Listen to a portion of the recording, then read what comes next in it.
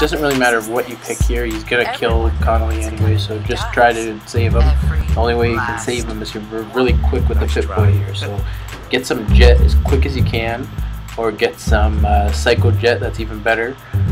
And you know, take that and try to shoot Sinjin as much as you can right in the head. Hopefully, with a powerful gun, your uh, your Psycho Jet's gonna make you a lot better with the VATS. So use that to your advantage. Then you know, just destroy everybody in the room. Time slowed down, so I kind of messed up here. I thought his head was gonna come out, but didn't in time. Destroy this guy.